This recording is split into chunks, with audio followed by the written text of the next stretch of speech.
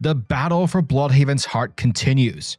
As Blockbuster's reign over the criminal underground continues to fester, will Dick Grayson be able to stop Blüdhaven's kingpin, or will things begin to go way too far?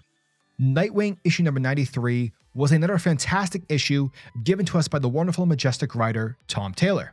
Taylor once more gives us an issue that is filled of hope and a sense of joy, yet at the same time, that feeling of goodness isn't particularly secured, because like anything in life, if something you care about is left unchecked, it will eventually break. And so that's not to say if the good guys will win because they're good guys and that's how stories go. Our characters will win because they give a damn, because Dick Grayson cares for Blüdhaven. and we, the reader, care for him as well because Dick is actively trying. Therefore, we're invested.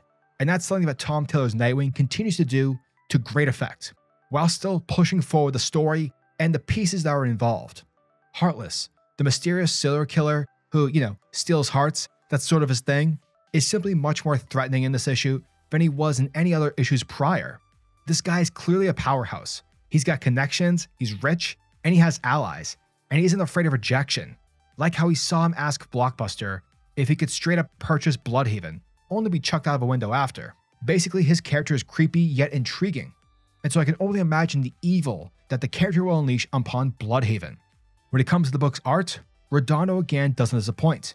The way in which he sets up the paneling, the way Redondo organizes it through a means that comes off original, is fantastic. It brings forth a unique take of storytelling, and it adds a spark of creativeness that only enhances the ability of telling stories through comics. And of course, the images and the artwork are amazing as well. Everything is on point and direct. There's no messiness to be had, and everything is clean, and every person, object, or whatever is there for a reason.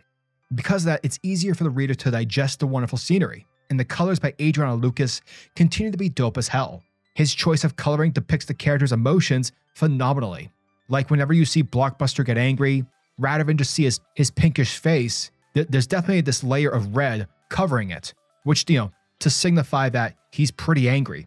Or when Dick Grayson's sad and doesn't really know what to do on how to save Blüdhaven, there's a shade of blue that's covering his face. It's a great way to signal and highlight what our characters are feeling.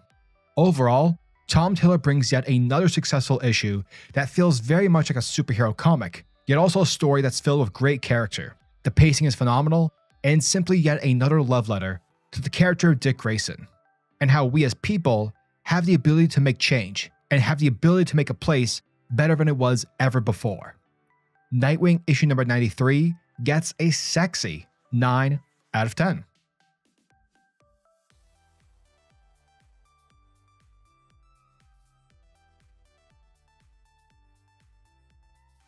Our story begins where the last issue left off, with the villain Heartless confronting Blockbuster in the middle of the hallway after having just massacred all of Blockbuster's security.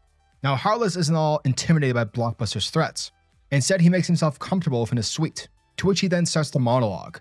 Because Heartless, he can sense that something wonderful is about to happen in Blüdhaven, and he wants that to happen. And he wants the city to feel hope.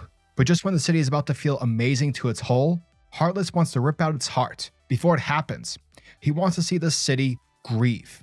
And so he tells Blockbuster that he wants the kingdom. He wants everything that Blockbuster has, and he's willing to pay for it. So yeah, name your price. But Blockbuster, you know, he essentially tells him to eat crap, and he lunges himself at Heartless. And though Heartless is able to catch his punch and, you know, can seemingly actually beat him, he stands down, telling Blockbuster that if you're not willing to sell it, then I'll just have to take it. But in response, Blockbuster picks up his desk and chucks it straight towards him, knocking Heartless through the window and sending him all the way down to the ground, seemingly killing him. But if you've been reading comics for a while, then you know better than to assume. Elsewhere, we pick up in Haven, where after taking care of the vandalizers from the previous issue, Dick is now cleaning up their mess. Suddenly, while he's talking to Barbara on the other end, a squad of Blüdhaven's corrupt police ambush Nightwing, and they start firing bullets at him. Now, obviously, these cops are being paid by Blockbuster in order to take out Nightwing, but fortunately, because of his acrobatic prowess, his dope ass skills, Nightwing is able to turn the tables on his attackers, and he's able to successfully knock them out. However, Barbara tells Nightwing to retreat because a whole bunch of police cars are heading straight for him. And so Nightwing gets on his bike and makes his escape, in a scene that is very reminiscent to The Dark Knight Rises, where Batman was being chased by essentially every freaking cop in Gotham City. Now, once Nightwing is able to escape his pursuers, he heads over to Gotham City so that he can stay with Barbara for the night, since Blüdhaven is not a safe place for Nightwing to be roaming about. Now, after spending the night with Barbara, the following morning we see Dick cooking up some, some delicious breakfast. Now, once they're sitting down, Barbara tells Dick that she was able to identify the men who attacked Haven in the previous issue. And after showing Dick on what she found out, Dick, without realizing it, tells Barbara that she's incredible, but that he also loves her, which makes the room fill up with some awkwardness. Luckily, Dick is safe from the awkwardness, however, because of a phone call from his half sister Melinda, and she tells him that he needs to get back to Haven effective immediately. Thus, we switch over to Haven, where the corrupt police commissioner and his cops are harassing the kids in hopes of driving them away. And this is all an attempt to show that Grayson's Haven project doesn't work, whilst also making Dick Grayson's image plummet. Not only that, but the commissioner has also set up a press conference for himself. And with the media there, it's a chance for the commissioner to really drive home the message that Haven is unsafe, rather is a gathering spot for criminals in order to create chaos against the city. However, that's when Dick shows up and immediately calls out the commissioner's lie. Because remember, in the last issue, Dick, with Barbara's help, was able to take off all the vandalizers' masks, and because of Barbara's tech skills, they were able to take snapshots. Thereby, they were able to identify the perpetrators. And by sending out footage and info on the internet, everything begins to go viral, revealing that the criminals who caused the city damage were actually part of Blüdhaven's police force, police officers who worked directly under the commissioner. And so, in other words, Dick Grayson used the truth to expose the commissioner's lie, and he basically pantsed him in front of all of Blüdhaven. Thus, Dick Grayson scores another victory against corrupt institutions. Later on, we pick up with a wounded Heartless, who's shown to have survived his fall, obviously, because comics. But yeah, Heartless is able to make it back to his building, and after being greeted by his butler, Gerald, he hooks Heartless up to a machine, something that is seemingly charging his body and his enhancements. And through the scans, it showcases that Heartless's heart is about to shut down. Therefore, Gerald, after hooking his master up, walks over to a wall filled with jars, jars that are filled up with hearts, and takes a heart from the collection in order to replace the one with Heartless.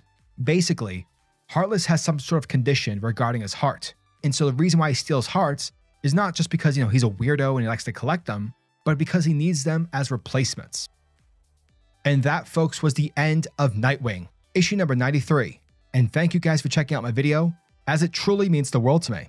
And as always, I'm your majestic sayer of words, Supercliff, and if you guys are new to the channel, then do me a solid by smashing that like and subscribe button, and also hit the notification bell so that you'll never miss out on an upload, and so that you'll always be kept up to date with your favorite top tier comics happening in the comic book world. Now tell me, what are your thoughts and opinions on this issue? Are you guys excited for issue number 94? Let me know down in the comment section below. And until the next video, peace.